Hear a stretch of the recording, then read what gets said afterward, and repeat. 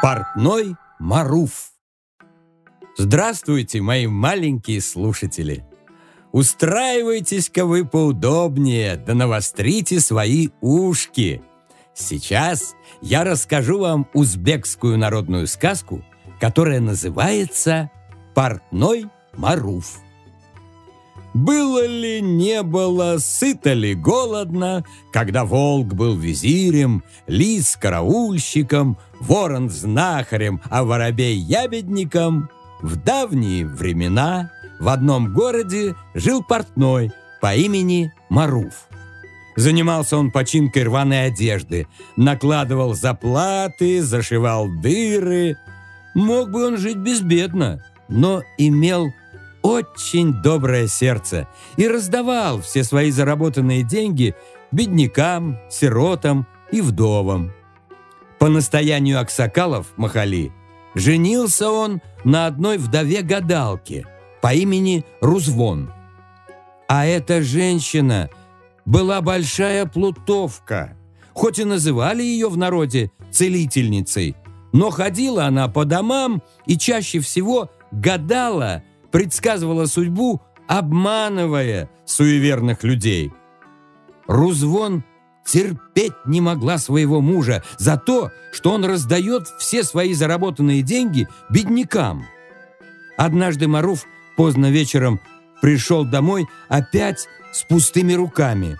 Рузвон накинулась на него и стала ругать, на чем свет стоит. Ой-ой-ой-ой-ой! Смотри-ка на него! Ходит как бай, у которого дом как будто полон сундуков с золотом, а во дворе стоят сорок овец. Целыми днями вы сидите на базаре и даже не думаете о своей жене. Что я ем? Что я пью? А ну-ка, покажите, что вы сегодня принесли. Послушай, женщина, чего ты так кричишь? Разве я виноват, что никто сегодня не приходил чинить одежду? Прождал я до самого вечера, надеясь заработать хоть немного монет. Что ж поделать? Сегодня Бог не послал нам ничего. Ах, я несчастная! Несчастная я! Ну зачем я вышла замуж за такого портного неудачника? Все, надоело! Убирайтесь вон из дома и не возвращайтесь, не заработаете много денег. Надоело Маруфу каждый день слушать попреки и скандалы жены. Махнул он на все рукой и ушел из дома, куда глаза глядят. Встретил он по дороге торговый караван и побрел с ним. На стоянках Маруф пас верблюдов, кормил лошадей, по ночам не спал, охранял груз и мирный сон своих хозяев. Претерпев тысячу всевозможных мучений, мытарств, Маруф добрался, наконец, до города Хатана. Там он встретил знакомого купца по имени Али, а этот Али был очень хитрым человеком. Зная о великодушии и щедрости Маруфа, он задумал одно дело. Вначале купец одел, обул портного, вкусно накормил, а на следующее утро отвел его на базар и сказал «Это лавка твоя. Я представлю тебя как своего друга-торговца. Осваивайся здесь пока. Ну а когда дела пойдут в гору, то заработаешь немного денег. Наступит время, и со мной рассчитаешься. Спасибо, друг Али. Я согласен. И хотя прежде никогда не торговал, но я буду учиться. Может, и заработаю себе на жизнь. Маруф был очень добрым человеком.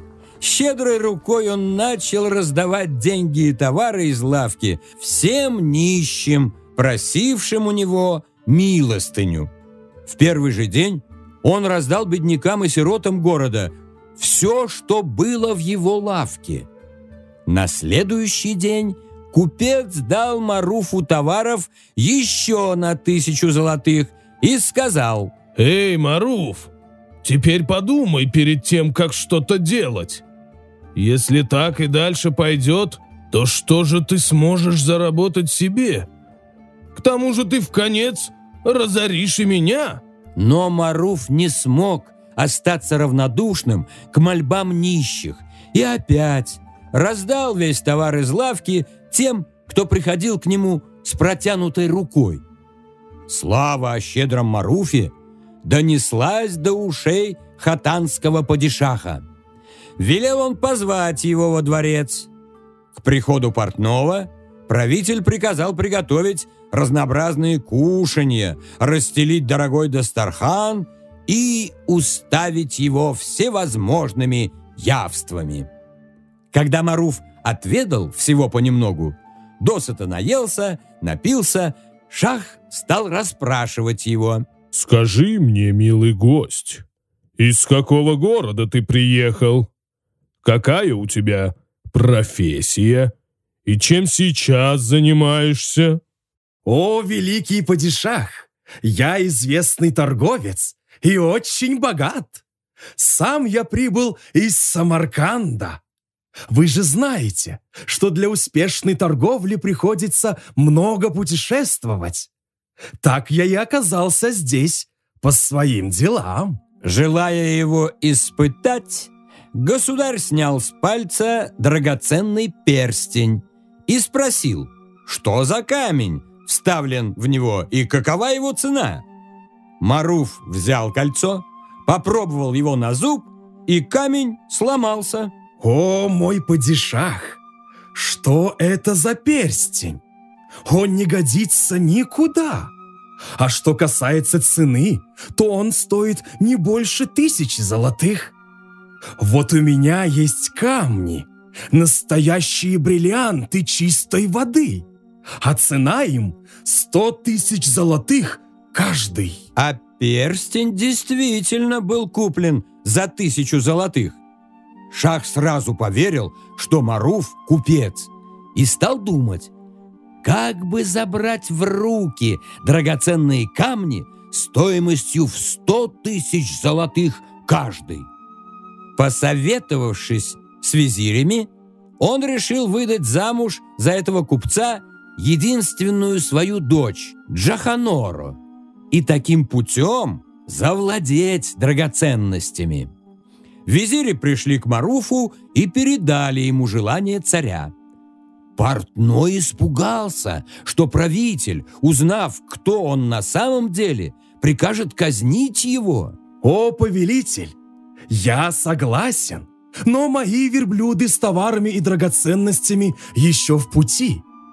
А что, если нам подождать и устроить свадьбу после прибытия каравана в Хатан?» Но визири и падишах настаивали на своем, и в конце концов добились его согласия и устроили пышную свадьбу, на которой пировали 40 дней и 40 ночей. Маруф прожил вместе Джаханоро три месяца.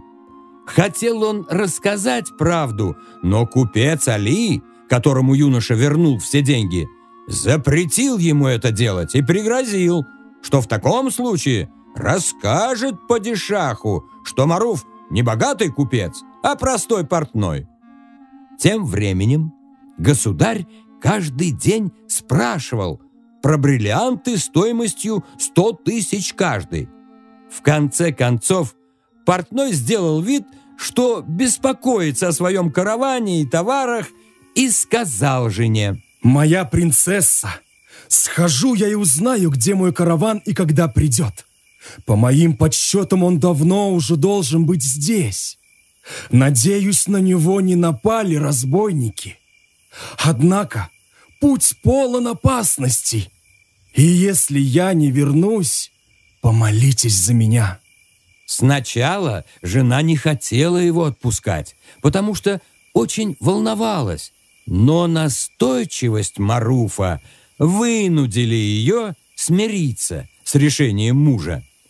Таким образом, портной решил избежать верной гибели и покинул город. Долго он шел и очень устал. его начал мучить голод. Подойдя к одному из крестьян, пахавших землю у дороги, Маруф попросил у него лепешку и кислого молока. «Эх, сынок мой, сынок, мой дом вон там, на холме.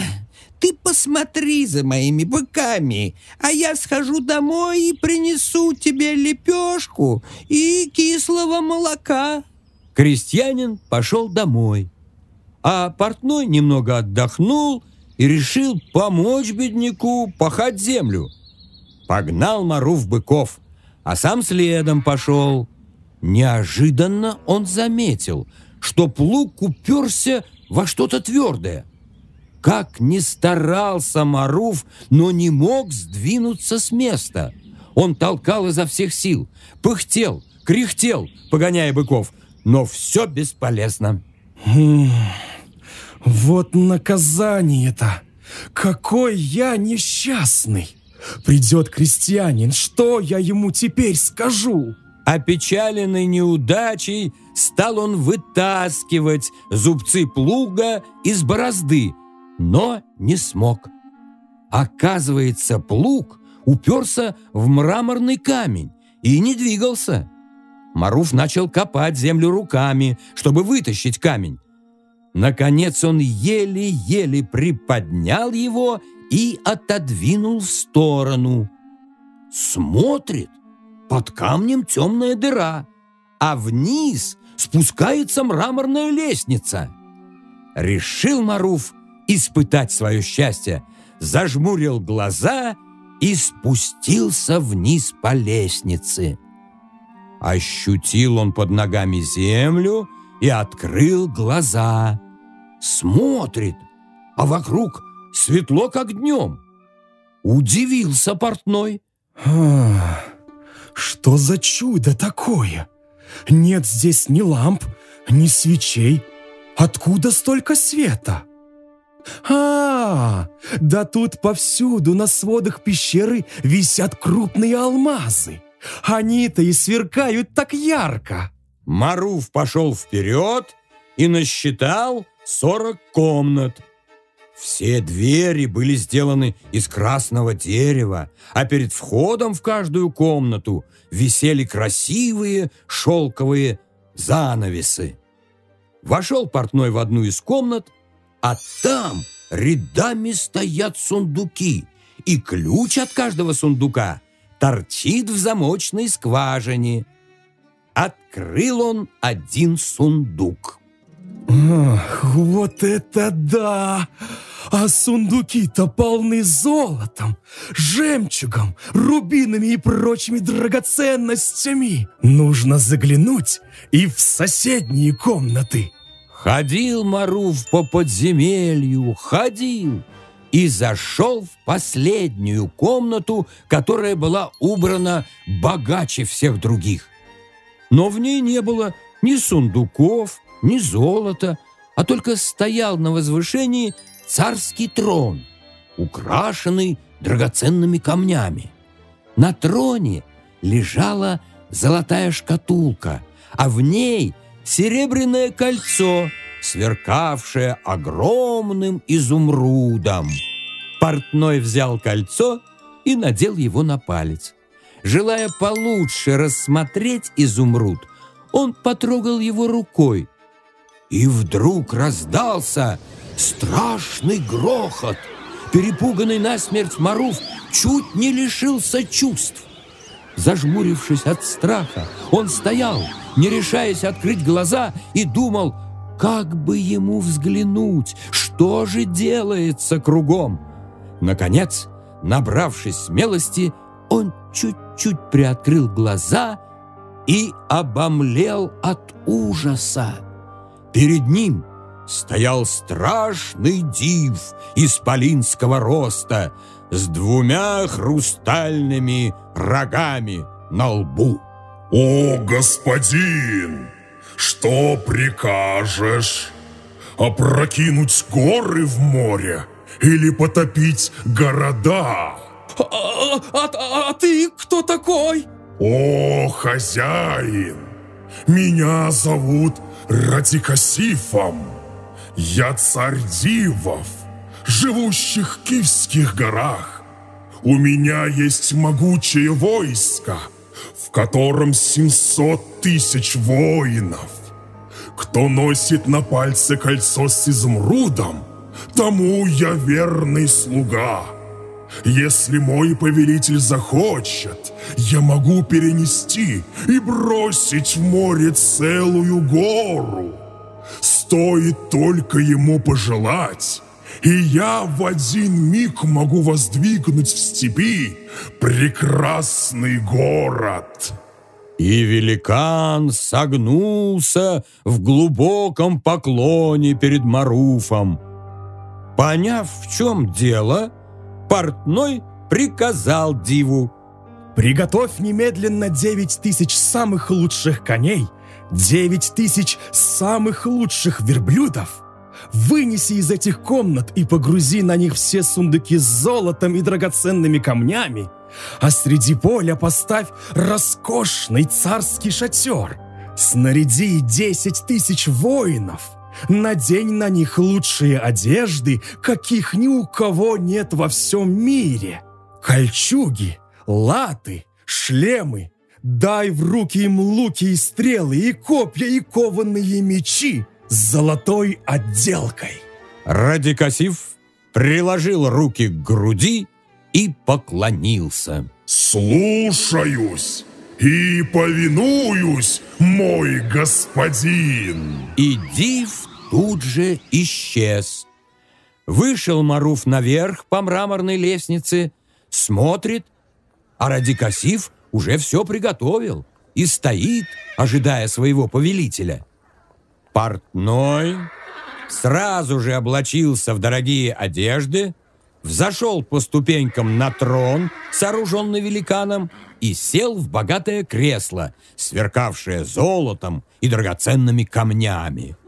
Вокруг него с оружием в руках стояли грозные дивы, принявшие облик знатных людей из царской свиты. Теперь, ребята, послушайте про крестьянина. Возвращаясь из дома с крынкой кислого молока и черствыми лепешками, крестьянин издали увидел шатры, раскинутые на его поле, тысячи коней, огромный караван верблюдов с грузом поклажей, и до того растерялся и удивился, что чуть не лишился рассудка. Увидел его Маруф и приказал привести к нему. Приняв портного за царя, Дихканин поклонился ему в ноги и попросил извинения, что пришел с таким бедным угощением.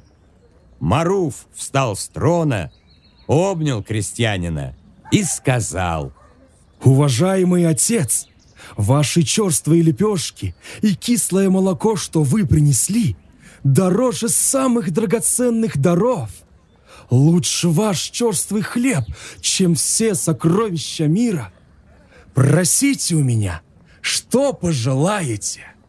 «О, государь, эту землю, что я пашу, я взял в аренду у одного бая». Хозяин меня унижает, оскорбляет, замучил всякими обидами и притеснениями. Из моего урожая он забирает себе девять частей, а мне остается только одна часть. Круглый год я работаю с семьей, но мы еле-еле сводим концы с концами. Сделай так, чтобы я и мои дети могли жить без нужды и горя. Маруф сразу же коснулся изумруда, и в тот же миг перед ним предстал Радикасив. Он низко поклонился, поцеловал землю и заявил. «Слушаюсь и повинуюсь, мой господин. Что прикажете?» «Приведи ко мне хозяина этой земли». Див мгновенно исполнил приказ. Бай подумал, что перед ним сидит на троне сам царь и упал на колени. Увидев его, Маруф сурово сказал, «Эй, ты, подлец! Ты что же это мучаешь крестьян, а?» Растерялся Бай, затрясся и не мог сказать ни слова от ужаса. Не добившись ответа, портной приказал Диву наказать Бая, а крестьянину выдать грамоту на землю за всеми подписями и печатями, а затем сказал. «Уважаемый отец, теперь у вас своя собственная земля. Это ваше достояние. Отныне никто не сможет причинить вам зло. Я дам вам еще 10 сундуков с золотом. Но не делайте так, как этот проклятый бай. Не притесняйте других крестьян. Раздайте золото беднякам, поделитесь с ними и сами живите привольной жизнью. Трудитесь и расходуйте на семью свою, сколько вам нужно. А теперь давайте послушаем, что творится у хатанского падишаха. Узнав, что Маруф исчез, правитель хатана послал вслед за ним своих людей и приказал во что бы то ни стало и где бы то ни было разыскать беглеца, связать его и привести в город. Я подвергну этого негодяя такой мучительной казни, чтобы этот случай послужил примером для других, и впредь никто не осмеливался обманывать меня. Люди хатанского шаха пустили вскачь своих коней и по следам портного вскоре разыскали его. Увидев множество воинов, роскошный царский шатер, они удивились, ибо в жизни своей никогда не видали такого богатого шатра, сверкавшего золотом и драгоценными камнями. Спрыгнув с коней и попросив разрешения, подданные падишаха вошли внутрь. Приняв Маруфа за царя, они отвесили ему земной поклон. Добро пожаловать, гонцы великого правителя Хатана! Чем могу я вам помочь? О, славный государь! Тесть вашего величества выехал в дорогу и послал нас вперед, чтобы встретить вас с почетом. Подданные низко поклонились, а Маруф подозвал к себе казначея и сказал, «Дайте каждому из них по тысяче золотых монет». Гонцы поблагодарили портного, сели на коней и помчались назад, сообщить обо всем своему шаху. Маруф тоже стал собираться в путь. Он приказал нарядиться всем в дорогие одежды, сесть на красивых коней и погрузить на верблюдов свои несметные богатства. Жемчуг и золото, сапфиры и алмазы, рубины и топазы. Когда все было готово, он торжественно выехал в город Хатан. Между тем, гонцы быстро прискакали к падишаху и рассказали обо всем, что видели. Они так расписывали богатство и славу Маруфа, что правитель разинул рот от удивления. На другой день караван портного подошел к стенам Хатана. Красивые, нарядно одетые юноши и девушки ехали верхом на породистых скакунах. За ними двигались могучие богатыри. Потом тянулся бесконечный караван верблюдов, нагруженных золотом и драгоценными камнями. Впереди всех, горцуя на чистокровном скакуне, выделяясь среди всех дорогой одеждой, ехал Маруф во всем своем великолепии, сопровождаемый бесчисленным множеством воинов-телохранителей. Маруф послал своих глашатаев, чтобы они созвали в городе всех бедняков, сирот и вдов и приказал раздать им свои богатства. Он одарил и порадовал многих людей, помог многим семьям. С тех пор добродушный и щедрый портной и принцесса Джаханора жили стать в мире и согласии. Своим мудрым и справедливым правлением заслужили они уважение всего народа. Сказка ложь, давней намек, добрым молодцам урок. Вы, конечно, поняли, ребята, что жадность и зависть очень плохие советчики. Удача на стороне смелых, добрых и трудолюбивых людей. Если у вас есть чем поделиться, поделитесь. И тогда, в трудную минуту, к вам тоже непременно придут на помощь добрые люди. Аудиосказка была представлена Агентством информации и массовых коммуникаций совместно с Министерством дошкольного образования.